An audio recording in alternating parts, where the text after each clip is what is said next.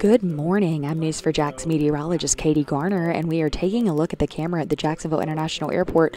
Well, we're not really taking a look because you can't see anything because, hello, dense fog is the name of the game today.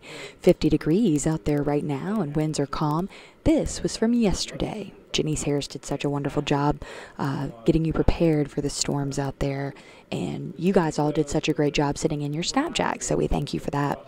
This is Bryceville, Florida. These were funnel clouds reported, and uh, the rainfall was pretty intense.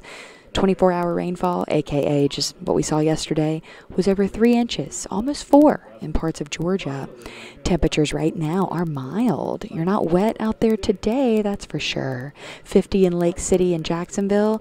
Well, most of you aren't wet like you were yesterday, but I will tell you this much. Some of you will get wet a little later this evening when more showers move in, equaling under a tenth of an inch. Pollen forecast today is moderate because that rain helped wash us down a little bit, but not by much, and your wind speeds are calm. I'll see you on the news.